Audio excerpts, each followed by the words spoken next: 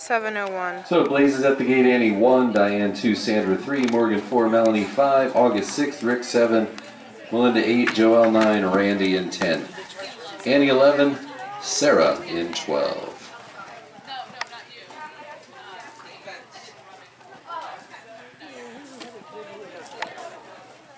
Hmm?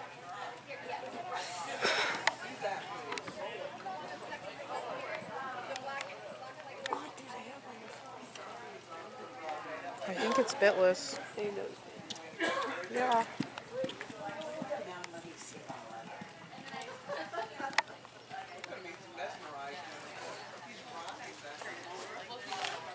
There are some people who try to do jumpers without a bridle altogether, which seems challenging. I think Probably not at this. I, if I trusted him not to fuck, he could have run for it. Mm, true.